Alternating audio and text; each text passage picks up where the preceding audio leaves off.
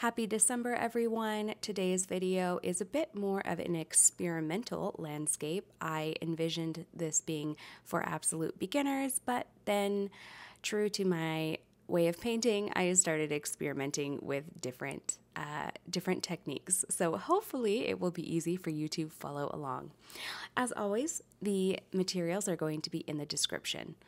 So the first thing that I am doing is wetting my entire paper so I can then use the wet on wet technique where I create the sky. Using a pink and an orange, you can choose whatever types of colors of pinks or oranges that you want to use or whatever colors best suit your preference. It really doesn't matter. So I am laying it down, blending it in, and then I'll add some orange honestly, I didn't really know what I was doing here as far as what my intention was. I was watching a TV show, if I'm being quite transparent, and I wasn't really paying attention. But sometimes that is quite nice because then you never know what you're going to get. I think it worked out in the end, um, but I didn't really have a plan for this painting and also using a flat brush, a smaller one here, I decided to create a distant mountain and then a closer up mountain. Now, I never use this type of brush to create my mountains, or honestly, the technique that I'm using here, where you just sweep it and drag it across the paper, I never do that. So it was quite fun and it's quicker and you can really explore um, different shapes uh, this way. So if you haven't seen my other mountain uh, video, then be sure to check that one out. That's usually how I paint mountains, but you know, I'm kind of loving this. So I might start painting and exploring um, using this type of brush. So I use most of the things that I paint in this painting with that uh, with flatter brushes or square brushes. So I'm using Payne's Gray here and it's very messy and that's okay because I do go back and I layer it and you know um, play around with how I can shape it. But don't worry about it too much, especially if you're just starting out. Just get the paint on the paper. You can extend your mountain like you see me doing here by getting a lighter wash and just making different shapes above the color. I also lift some of the color and then I drop in more color. Really, I'm just playing around with different texture. There, in my opinion, you can't really paint a mountain the wrong way because mountains are busy. They're kind of complex, different shapes, different shadows. So I just say have fun with it and see what uh, speaks to you. And then I'm swooping my brush across. I decided that I would do water. I wasn't sure if I was going to do a frozen meadow. Really, I had no plan.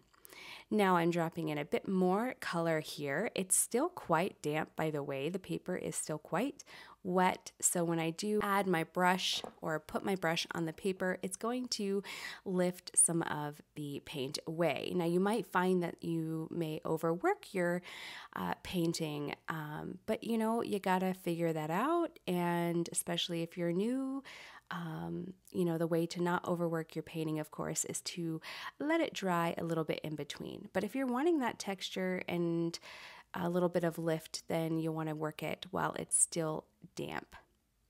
And then I decided to create some trees here, so I'm just creating very distant abstract trees, so no branches, just sticks pretty much. and I'm able to achieve this by turning my brush upward and flicking it up. And if you're new here or haven't subscribed already, I'd love for you to stick around so you can like and subscribe. And more importantly, leave me a comment. I love interacting with you. I will do my best to get back to the comments in a timely manner. Uh, but it might take me a few days. But I do read every single one. So thank you for your feedback, your comments, your kind uh, comments. It's very much appreciated and seen. And um, yeah, just just thank you for being here. So you can see now it's looking a little messy and I'm at this point not quite sure what my intention is for this painting. but I figured I would show it anyway and just the process of what I do when I'm not really sure what I am doing. I added a bit more of the pink there to have a reflection because I did decide to create that as water. And then taking a smaller brush, this is a size 2 by Grabie, and I am dropping in some darker Payne's Gray. You can see at the bottom of the page it was a bit drier and that's because I wasn't sure if I wanted to create some dry brushing effect to emphasize some ice. Um, but then to spread it out, smooth it out, I added a bit more water on my brush and I wanted it to be a bit darker, closer to the bottom of the page, and then get lighter towards the distance to reflect light and, of course, just the depth of field. And then I continued to play around with adding darker to lighter um, uh, pigment of that Payne's Gray. And really, it's up to you. Now, I do do something crazy where I add some um, very opaque watercolor. So it's PH Martin's Bleed Proof White. And I did that to emphasize some uh, ice, but don't fret, don't worry. I do smooth it out, but that was me exploring and playing around, and I really encourage you to do that as well. Is this the best painting that I've done? No, by any means, but it was fun to do, and uh, why not show you some of the different techniques that I do that may not be something most watercolor color artists do. Um, you know, uh, you can get a bit more icy effect by using a different color or shade of blue, but I've been having a lot of fun using the uh, bleed proof white and it's looking a little crazy. I mean, that almost looks like I have ruined the painting, in my opinion. But um, I place it where I would think the ice would be, and or a frozen lake, and then I go ahead and smooth it out. Um, you can smooth it out by adding a bit more water on your brush and just dragging it. And then I do go over it with a more dry brush of the bleed proof white to emphasize um, either cracks of ice or maybe there's some waves uh, there. Really, it's up to you and your imagination. It honestly doesn't matter. So, but I think it was, it turned out in the end. But the bleed proof white is quite fun to play with and act as snow and um, and ice.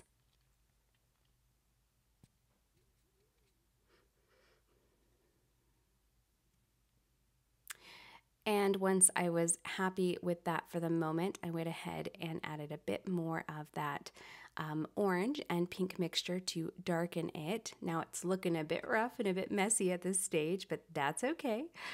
Uh, I wanted to add a bit darker areas because it was looking a little bit too opaque and milky or creamy, um, which you know I I like. I absolutely love using white in my watercolor paintings. Not all artists like using white. I totally understand that watercolor.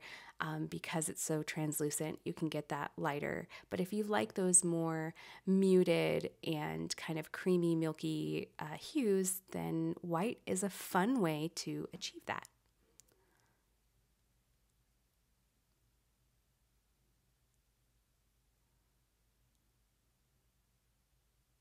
And again, you'll see me switching different brushes to drag it. Now I have used a bit of the bleed proof white mixed in with the the Payne's Gray and then realized that it was a bit too blue and a bit too light. So going back in from just the bleed proof white, I cannot say that word or the name. Um, and I am just dabbing it in wherever I see fit, starting to shape the different areas and crevices of where the snow might be. And I wanted this mountain to feel a bit cold and, um, you know, very cold. It's December, winter is upon us. Not quite winter yet, it's still technically fall where I'm at anyway. Though we have had moments of snow and then it goes away and melts and then it comes back and then it melts. um, but yeah, that's all I pretty much do is add in more of the bleed proof uh, white and I alternate between having more of the dry brush and then smoothing it out with a bit more water. So you can see in that upper right hand area of the mountain, it's very creamy, it's very soft. And then I go back in with a dry brush. And, you know, sometimes I will have to let it dry and then add a bit more. And then if you find that you do use this for your mountains and maybe you go a bit overboard and it just becomes a, a bit of a white creamy mess, you can absolutely let it dry and then go back in with the color that you used for your mountain and then darken it up, which I do here, which really gives quite a intense contrast. You may like this, you may not. I mean, honestly, that's fine. um, I encourage you to explore and create different uh, you know, different textures in your watercolor paintings. And I think it's really fun to use mixed media in your uh, watercolor paintings to emphasize different um, effects or textures. It, it, you know, I am all on board for that. So you can see I'm adding now a bit more of the dry brush on top of it.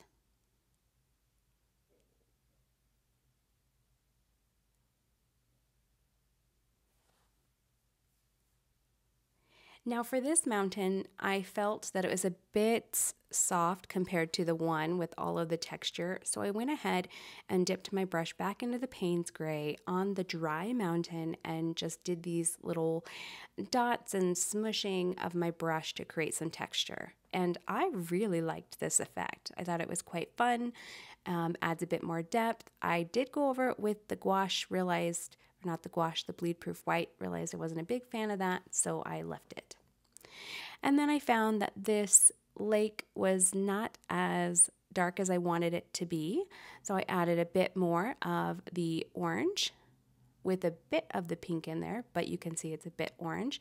And then realized it was a bit too dark. Not to worry, since um, it's dry, I was able to lift some of that paint off and add a bit more water to my brush to smooth it out.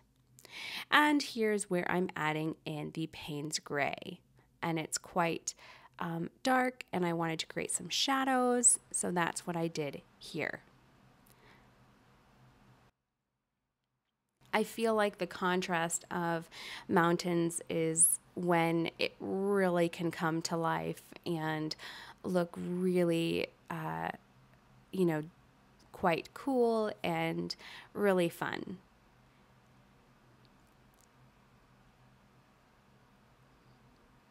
I don't know about you, but using these different techniques for this mountain almost reminded me of what you'd get in maybe like acrylic painting. Now, I'm not an acrylic painter, uh, that is not a medium I use, but that's what it reminds me of.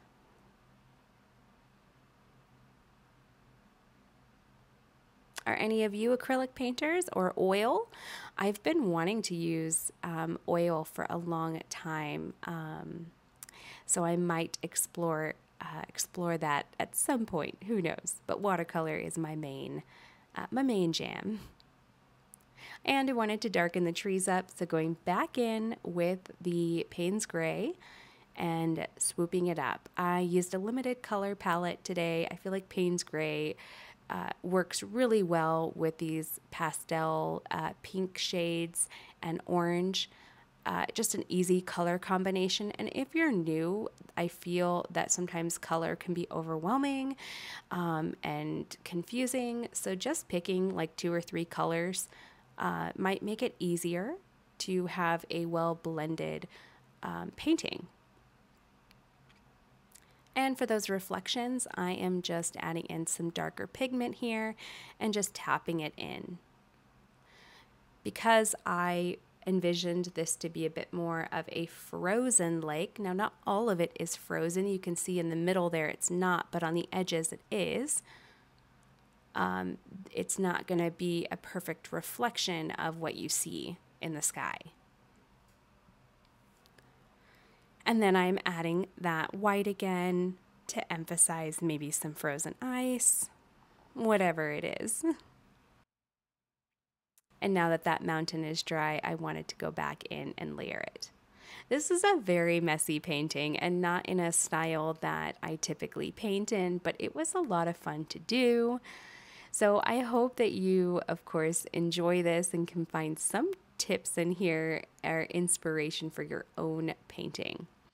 Now, I thought I would add a bit more of that white to emphasize maybe a snowbank um, or some edge between the water and the landscape.